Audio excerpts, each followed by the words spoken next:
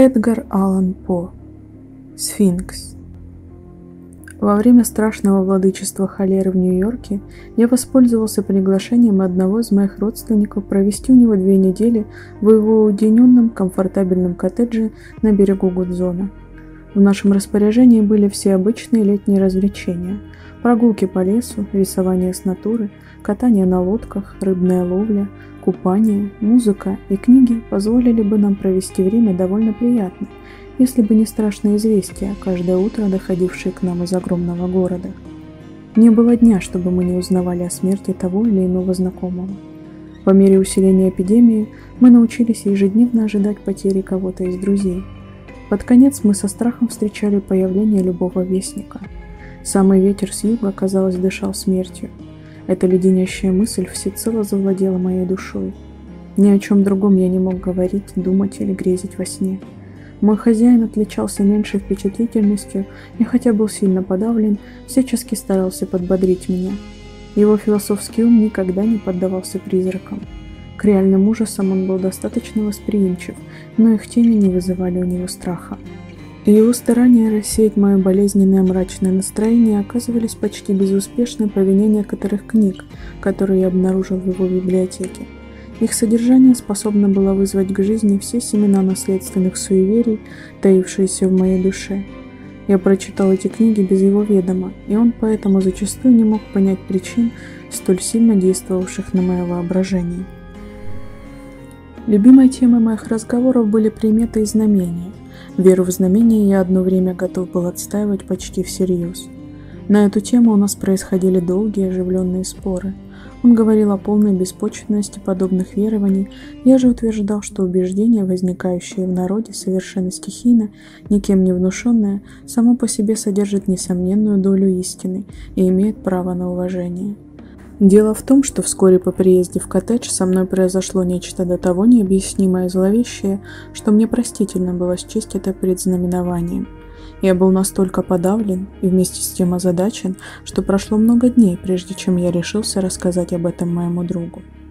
На исходе очень жаркого дня я сидел с книгой в руках возле открытого окна, откуда открывался вид на берега реки и на отдаленный холм, который с ближайшей к нам стороны оказался почти безлесным вследствие так называемого оползня. Мысли мои давно уже отвлеклись от книги и перенеслись в соседний с нами город, где царило уныние и ужас.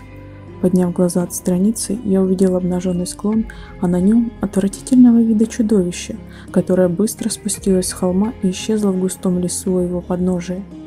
При появлении этого существа я сперва подумал, не сошел ли я с ума, и во всяком случае не поверил своим глазам. Прошло немало времени, пока я убедился, что не безумен и не сплю. Но если я опишу чудовище, которое я ясно увидел и имел время наблюдать, пока оно спускалось по склону, читателям еще труднее, чем мне будет в него поверить. Размеры чудовища, которых я судил по стволам огромных деревьев, мимо которых оно двигалось, немногих лесных гигантов, устоявших во время оползня, были значительно больше любого из океанских судов. Я говорю судов, ибо чудовище напоминало их своей формой. Корпус нашего 74-пушечного военного корабля может дать довольно ясное представление о его очертаниях.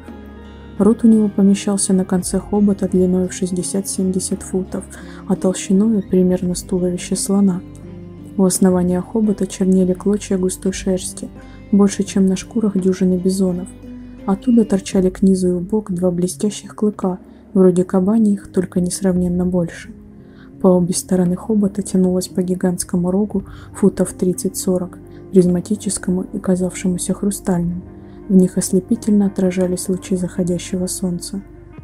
Туловище было клинообразным и острием направлено вниз. От него шли две пары крыльев, каждая длиной почти в 100 ярдов. Они располагались одна над другой и были сплошь покрыты металлической чешуей, где каждая чешуйка имела в диаметре от 10 до 12 футов. Я заметил, что верхняя пара соединялась с нижней толстой цепью, но главной особенностью этого страшного существа было изображение черепа, занимавшее почти всю его грудь и ярко белевшее на его темном теле, словно тщательно выписанное художником. Пока я глядел на устрашающее животное, и особенно на рисунок на его груди, с ужасом и предчувствием близкой беды, которую я не в силах был побороть никакими усилиями разума, Огромные челюсти, помещавшиеся на конце его хобота, внезапно раскрылись, и из них раздался громкий и горестный вопль, прозвучавший в моих ушах зловещим предвестием. Едва чудовище скрылось внизу холма, как я без чувств упал на пол. Когда я очнулся, первым моим побуждением было, разумеется, сообщить моему другу все, что я видел и слышал, и я затрудняюсь объяснить чувство отвращения, которое почему-то меня удержало. Но как-то вечером, дня через три или четыре после этого события, мы вместе сидели в комнате, где мне предстало видение. Я сидел в том же кресле у окна, а он полулежал вблизи от меня на софе. Вызванное временем и местом ассоциации побудили меня рассказать ему о странном явлении. Он выслушал меня до конца, сперва смеясь от души, а затем сделался необычайно серьезен, словно не сомневался в моем помешательстве – в эту минуту я снова ясно увидел чудовище и с криком ужаса указал на него.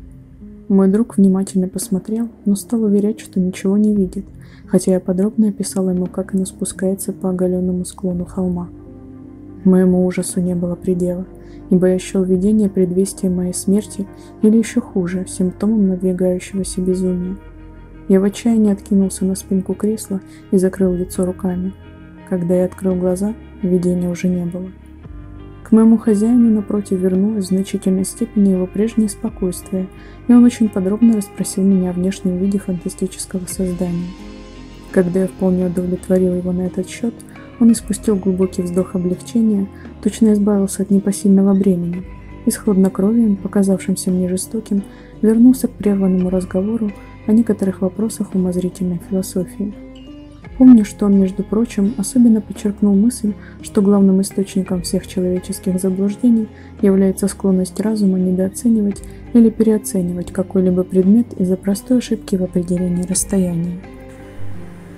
Так, например, сказал он, для правильной оценки влияния, какое откажет на человечество повсеместное распространение демократии, непременно следовало бы принять во внимание отдаленность эпохи, когда это распространение завершится – а между тем, можете ли вы указать хотя бы одного автора, пишущего о формах правления, который считал бы этот вопрос достойным внимания?